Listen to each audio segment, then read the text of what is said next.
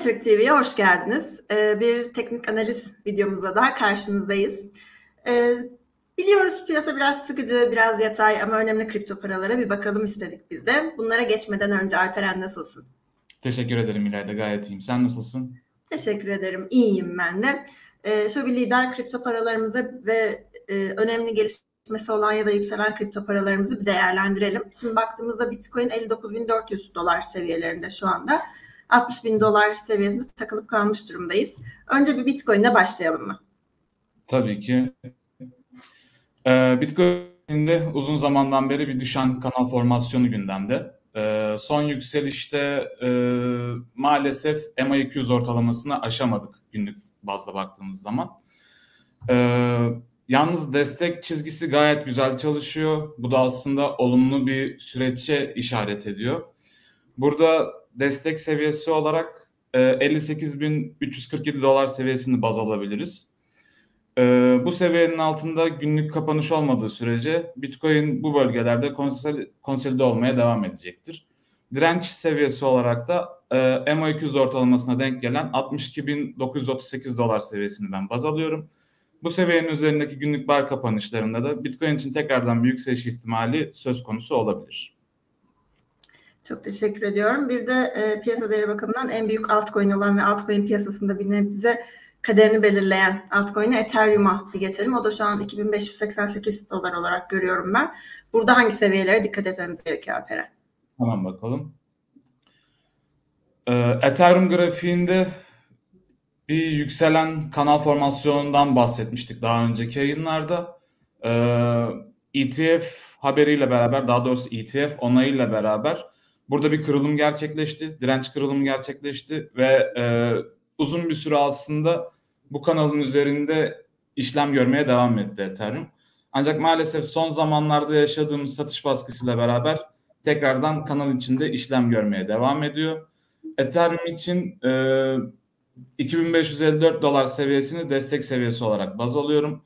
Bu seviyenin altındaki günlük kapanışlarda maalesef 1900 dolarlara kadar bir düşme ihtimali söz konusu e, direnç seviyesi olarak da EMA21 ortalamasına denk gelen 2716 dolar seviyesini baz alıyorum. Bu seviyenin üzerindeki günlük bar kapanışlarında da tekrar bir yükseliş ihtimalinden bahsedebiliriz. Çok teşekkür ediyorum. Bir de Ethereum Bitcoin grafiğine bakalım. Çünkü bu da özellikle altcoin'lerin e, altcoin'lerin üzerinde etkili olabiliyor. Kesinlikle. Aslında altcoin'lerin kaderini belirleyen bir grafik bu. Burada da düşen kanal formasyonu uzun zamandan beri gündemimizde ve daha önceki yayınlarımızda bundan tekrardan bahsetmiştik. Şu an bizi heyecanlandıran tek şey destek çizgisinden aldığımız temas. Bu temasın ardından tekrar bir yükseliş aslında söz konusu oldu. Ee, ancak gerçekten altcoin sezonunun başlaması için e, 0.044 seviyesinin üzerinde bir günlük bar kapanışı yapmamız gerekiyor. Bu seviyenin üzerindeki kapanışlarda altcoin'lerde bir canlanma görebiliriz. Onun dışında destek seviyesi olarak da 0.043 seviyesini ben baz alıyorum. Bu seviyenin altındaki günlük bar kapanışlarında da maalesef altcoin'ler tekrardan bir satış baskısıyla karşılaşabilir.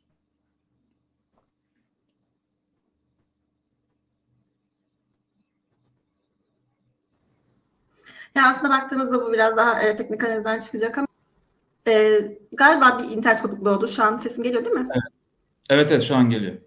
Süper. Tamamdır. Ee, şöyle baktığımız zaman e, altcoin'ler Bitcoin'in yükselişinde Bitcoin kadar yükselmeyip düşüşünde Bitcoin'den daha fazla düştüğü için gerçekten altcoin yatırımcıları zor durumda. O yüzden bu grafik çok önemli bizim için.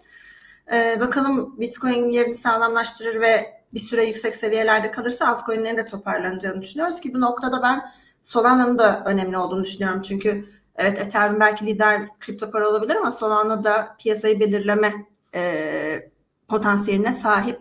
Bir de Solana grafiğine bakalım Alperen. Tabii ki. Ee, Solana'da da bir daralan kama formasyonu mevcut günlük grafikte. Ee, Solana tarafında bizi umutlandıran şey aslında Mimcoin tarafında yaşanan hype'tı. Ee, ancak son zamanlarda kullanıcı sayısındaki düşüş biraz dikkat çekiyor açıkçası ve e, bu da bir satış baskısı oluşturuyor. Solana için günlük grafikte 137 dolar seviyesini destek seviyesi olarak ben baz alıyorum. Bu seviyenin altında günlük bar kapanışı olmadığı sürece Solana için işler yolunda gitmeye devam edecektir. Onun dışında direnç seviyesi olarak da Bitcoin'de olduğu gibi MA200 ortalamasını burada baz alıyoruz. O da 150 dolara tekabül ediyor. 150 doların üzerindeki günlük bar kapanışlarında tekrardan bir yükseliş ihtimalinden söz edebiliriz. Peki bir de e, bu hafta yatırımcısını sevindirmiş olan Ev'e bakalım. Ev'de son durumumuz nedir? Hemen bakalım. Ee, evde de bir yükselen kanal formasyonu söz konusuymuş. Ee, son iki günden beri aslında çok ciddi yükselişler gördük bu tarafta. Bununla beraber e, kanal formasyonunda bir kırılım gerçekleşti. E, umuyoruz ki bugün günlük bar kapanışı bu tabii kırılımın üzerinde olur. Böyle bir durumda tabii ki de yükselişine devam edecektir büyük bir ihtimalle. Burada direnç seviyesi olarak 143 dolar seviyesini baz alıyorum. Ee, 16 Mart'ta da bu seviye denenmiş ancak kırılım gerçekleşmemiş. Satış baskısıyla karşılaşılmış. Ee, onun dışında da destek seviyesi olarak 129 dolar seviyesini baz alabiliriz. Bu seviyenin altında bir günlük bar kapanışı olmadığı sürece e, yükseliş devam edecektir. Çok teşekkür ederim. Bir de e, kripto parasından çok genel itibariyle arkasındaki ismi konuştuğumuz Tron'u değerlendirelim istiyorum. Tron'da şöyle bir şey var. Son bir haftadan beri orada e, Solana ağında olan meme coin hype'ı bu tarafa kaydı. E, yanılmıyorsam Sunpup'tı e, platformun ismi. Bu platforma yoğun bir ilgi e, söz konusu. Yani bir haftadan beri kullanıcı sayısında inanılmaz bir artış var. Tron tarafında bugün 3.84 milyon dolarlık bir fee kazancından söz ediliyor. E, son zamanların en yüksek seviyesi. Ve Justin Sun'ın da bugün yaptığı açıklamayla beraber Tron fiyatı son 3 yılın en yüksek en yüksek seviyesine çıktı. E, burada direnç seviyesi olarak aslında bunu belirtmek çok da sağlıklı değil. Çünkü inanılmaz bir hype var. Ama yine de 16 e, centten bahsedebiliriz. 16 centin altında bir kapanış yapmadığı sürece e, Tron yükselişi devam edecektir. Destek seviyesi olarak da 14 centi ben baz alıyorum. 14 e, centin altındaki günlük bar kapanışı olmadığı takdirde burada da düşüşten bahsetmek çok doğru değil. Dediğim gibi hype inanılmaz yüksek. Kullanıcı sayısı inanılmaz şekilde artıyor. E, fee gelirleri zaten oldukça iyi. Rekor üstüne rekor kırıyorlar. E, yalnız takipçilerimize şunun e, uyarısını yapayım müsaadenle. Tron ağına varlık gönderirken dikkatli olsunlar. Çünkü özellikle Twitter üzerinde çok fazla gördüm. E, çekim ya da yatırma işlemleri sırasında ağ üzerinde bazı hatalar bazı hatalar oluşabiliyormuş. E, varlık gönderiminde dikkat etsinler. Onun dışında her şey gayet güzel bu tarafta. Justice'a yine adından söz ettirdi diyebiliriz. Bir de bu kadar e, yoğunluk yaşandığı dönemlerde Solana'da da görüyoruz bunu bazen. Ağ üzerinde tıkanıklıklar olabiliyor. Teşekkür ederim uyarın için. Bu önemli e, yatırımcı için. Ondan sonra gereksiz yere para kayıpları yaşanabiliyor. Dikkatli olmakta fayda var. Kesinlikle. Bir de e, hazır bütün video boyunca Gerçi biz ömrümüz boyunca muhtemelen mem tokenlardan bahsedeceğiz ama bütün video boyunca mem tokenlardan bahsetmişken bir de VIF'e bakalım istiyorum. VIF grafiği de yanlış hatırlamıyorsam e, şu anda mem tokenların grafiklerini genel olarak yansıtıyor. Kesinlikle öyle. Benim VIF'te dikkatimi çeken en önemli unsur e, Binance'in lansman günündeki fiyatıyla aynı seviyelere düştü şu anda. E, burada bir alım fırsatından söz edebiliriz aslında. Yani bunu gönül rahatlığıyla da söyleyebiliriz. Çünkü Solana ağındaki topluluk odaklı projeler her zaman her zaman demesem bile %90 ihtimalle kazandıran projelerdir. Yani oradaki topluluk e, gücü diğer ağlarda ya da diğer ekosistemlerde çok fazla görünmüyor maalesef.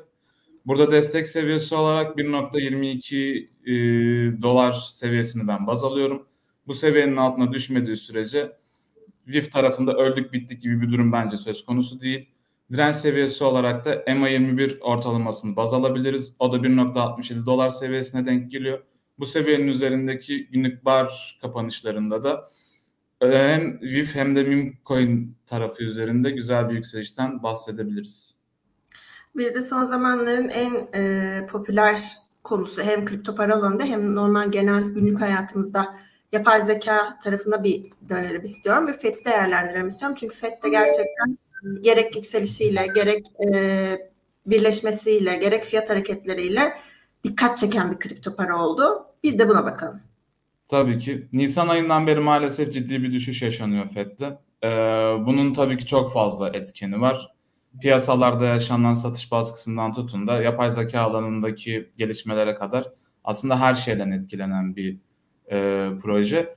Yalnız son zamanlarda benim dikkatimi çeken şey özellikle son iki haftadır 78 cent desteğinde çok ciddi bir e, toparlanma görünüyor aslında.